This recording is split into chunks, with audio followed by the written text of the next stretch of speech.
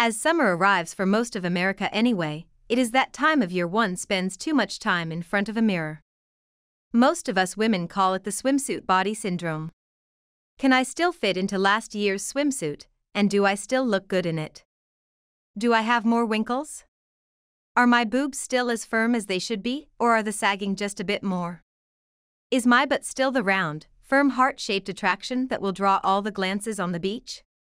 Gravity is a bitch when it comes to looking young, and Americans alone spent over $16 billion in 2016 trying to fight it. Botox, skin cream, elective surgery, and the list goes on. So, what if I told you the SCP already had the solution to this problem? To the SCP, this is known as SCP 006. To most of the world, it is the missing fountain of youth. And I could not think of a better place to talk about SCP 006 than sitting here by the pool, relaxing in the sunshine. So, here is the official report on SCP 006. Object Class Safe. Special Containment Procedures. Whereas the nature of SCP 006 does not warrant any extensive containment, a certain level of secrecy is necessary regarding the object's existence and properties, for obvious reasons. The following procedures are required not for personnel safety, but to deny or hide knowledge of SCP 006 effects from the personnel who interact with it. All personnel interacting with SCP 006 in any physical way are required to wear modified Class 6 B and C suits. Before personnel are allowed to perform procedures, they must be briefed with material SCP 006B or SCP 006C.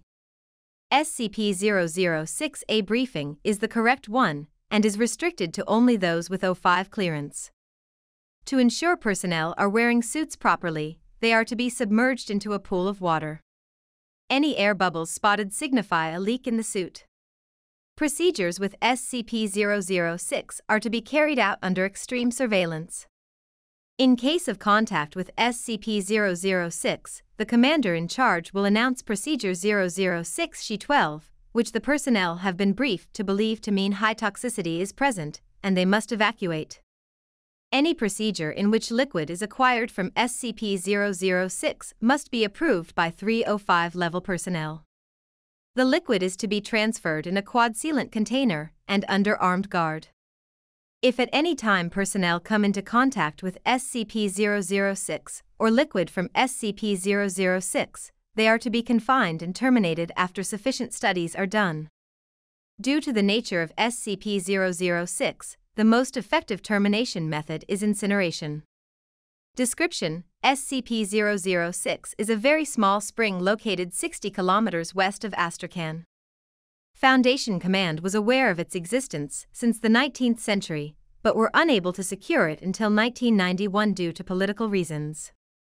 On the spot of the spring, a chemical factory has been constructed as a disguise, with the majority of laborers under Foundation and Russian control.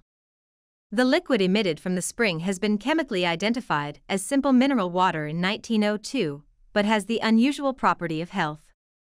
Ingesting the liquid produces the following properties in human beings the ability to regenerate DNA damaged by sufficient duplication, heightened excitement of cellular duplication, vastly improved abilities in the repair of damaged tissue, and a frightening increase in the effectiveness of the human immune system. Upon testing the liquid on animal subjects, hostile bacteria and viral agents were destroyed immediately. Many reptiles and birds were unaffected, while higher primates experienced the same benefits as humans. Thank you so much for joining me today as we looked into SCP 006 and the story behind it. I hope you enjoyed the story and briefing, and if so, please like and subscribe to the channel for new and exciting stories coming each week.